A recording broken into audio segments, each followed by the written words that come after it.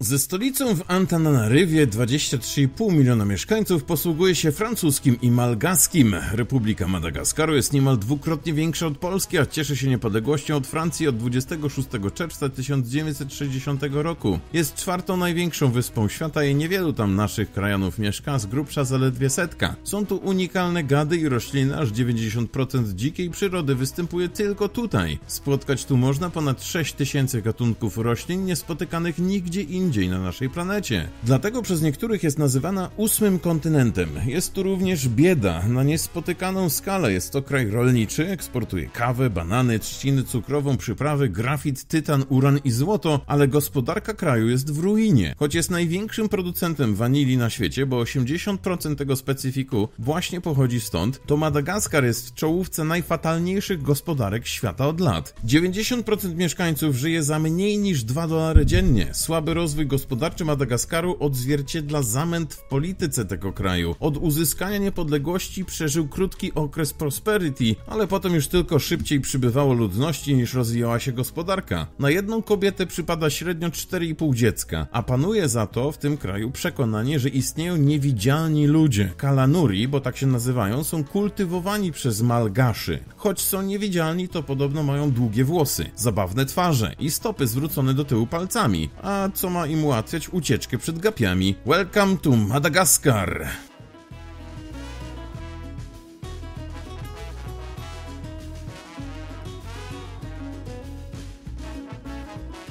Występuje tu 100 gatunków lemurów, znaleźć można również Brukesia minima, czyli najmniejszą jaszczurkę świata. Dorosły osobnik mierzy niecałe 12 mm. Na Madagaskarze odkryto także niesamowity gatunek ciem, który atakuje śpiące ptaki i wysysają im łzy. Owady pasożyty wkładają drzemiącym ptakom pod powieki długie, zagięte rurki i spijają słony płyn. Owszem, są tu dziwne zwierzęta. Są gekony liścioogonowe, kijanki jedzące osy, mięsożerne rośliny czy groźne żaby kanibale. To na pewno nie zamyka listę. W ciągu ostatnich dwóch dekad odkryto niemal tysiąc nowych gatunków zwierząt i nie zapowiada się, żeby naukowcy mieli na tym poprzestać. W pustyni i w puszczy, kiedy się czyta za dziecka, to na ogół wówczas się dowiadujemy, że istnieją niesamowite drzewa, jakimi są baobaby, a na Madagaskarze jest ich cała aleja. Aleja baobabów to najczęściej fotografowane miejsce w tym kraju. Naturalnie ustawione przed wiekami tworzą kilkudziesięciometrową aleję. Mają podobno 700 lat do 30 metrów wysokości, a 5 ma do 11 metrów średnicy. Są tak niesamowite, że okoliczni mieszkańcy są zdania, że drzewa rosną korzeniami do nieba. Nic dziwnego, że narodowym drzewem jest baobab i pomyśleć, że przed II wojną światową Madagaskar miał być polskim terytorium zamorskim.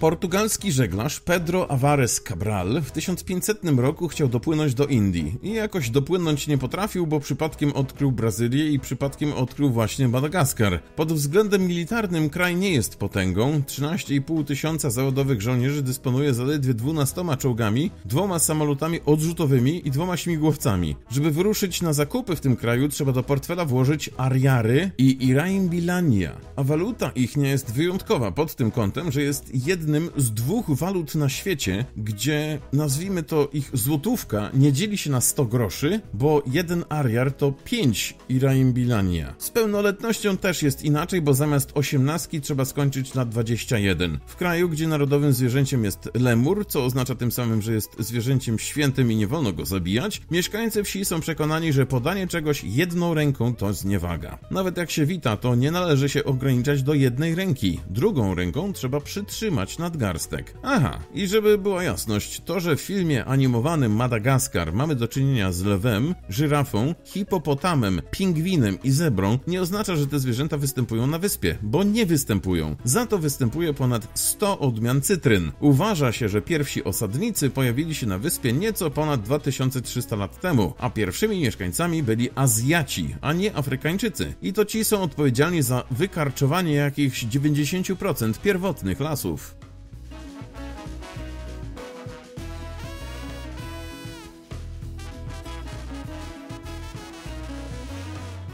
Wracając jednak na moment do baobabów, to okazuje się, że te mają tak grube pnie, ponieważ to w nich przechowują wodę. Pień baobaba przechować potrafi nawet do 120 tysięcy litrów wody. Z taką ilością potrafi przetrwać podczas niejednej suszy. Niewielu może pamięta, ale na Madagaskarze kiedyś panował europejski władca i to w dodatku Polak. Maurycy Beniowski, podróżujący żołnierz, trafił na Madagaskar, gdzie w 1776 został wybrany królem tubylców. Ta historia posłużyła Juliuszowi Słowackiemu do stworzenia poematu zatytułowanego Beniowski. Jak się nazywa mieszkaniec stolicy, czyli Antananarywy? W Moskwie mieszka Moskwianin, na Żoliborzu Żoliborzanin, zaś na Antananarywie mieszkają Antanarywczycy. Za to możemy podziękować Komisji Standaryzacji Nazw Geograficznych poza granicami Rzeczypospolitej Polskiej. Co ciekawe, Antananarywa była już długo stolicą Madagaskaru, zanim skolonizowali wyspę Francuzi. Panował tu niegdysiejszy Radama I, wszechwładny król. To głównie z powodu jego zarządzenia nie wolno było w mieście stawiać murowanych budynków, bo tylko jego pałac miał być murowany. No, kto bogatemu zabroni i to w dodatku królowi. Do kategorii zagadek zoologicznych przez długi czas zaliczano Ajaja. Naukowcy mieli nie lada orzech do zgryzienia, szczególnie uwzględniając wygląd tego biednego stworzenia. Myśleli, może to gryzoń, kombinowali, a może to wiewiórka? Inni jeszcze mówili, że to coś ewidentnie kotowatego. Ostatecznie zadecydowały badania genetyczne, testy DNA wykazały, że to lemur i zagadkę rozwiązano.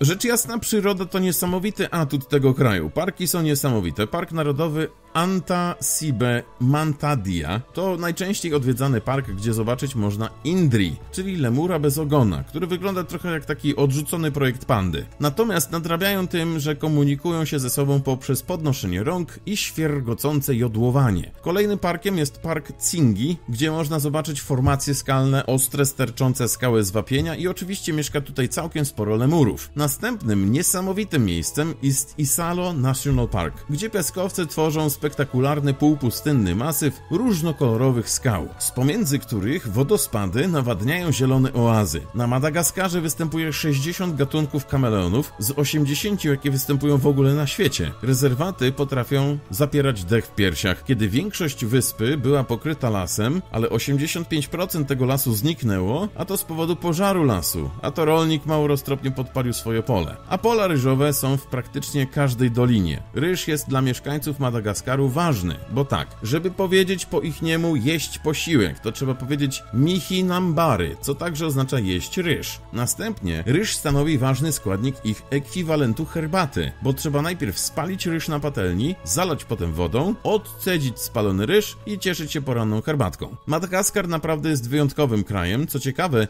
wszystkie męskie imiona malgaskie zaczynają się od litery R, a ponad 70% nazw miejscowości zaczyna się od Antana. Mieszkańcy są są przesądni, o czym była mowa wcześniej. Do przesądów dołączyć można to, że każdy wtorek czy czwartek to dni pechowe i zgodnie z panującym obyczajem nie wychodzi się wtedy w pole, bo to zapowiedź kiepskich zbiorów. Ale za to te dni są idealne do handlu i wypoczynku. Modna w Europie ilość dzieci w domu nie jest modna w tym kraju. Na Madagaskarze, jeśli się ma jedno bądź też dwójkę dzieci, to patrzą się na głowę rodziny z politowaniem. Tutaj idealnie jest mieć dzieci 12. Najlepiej, żeby było 6 chłopców i 6 dziewczynek. 6500 plus.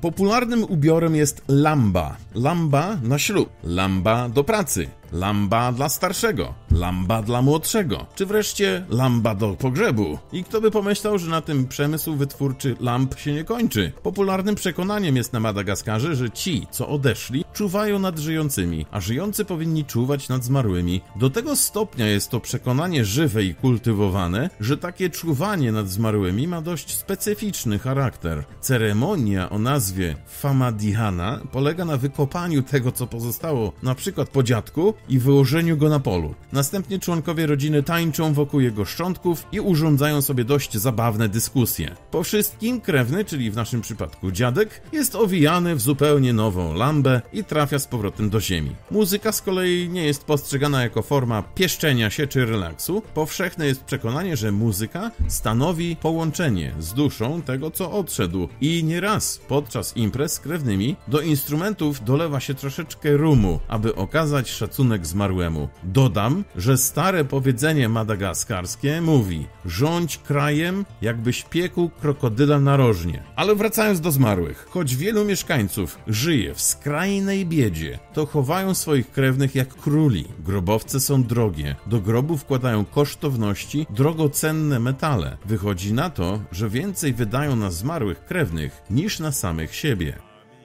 Dziękuję bardzo za obejrzenie materiału. Jak się podobał, wiecie, kciuki w górę, jak nie to w dół, jak średnio to w bok. No i rzecz jasna, dajcie jakiś temat na kolejny film. Dzięki bardzo za wsparcie. Dłuższe oglądanie reklam naprawdę pomaga. A my się widzimy już przy okazji następnego filmu, czyli kiedy każdy z Was przytuli się do dziadka. Albo po malgasku, albo po swojemu. To tyle na ten temat. Prosto z mostu. Pozdrawiam.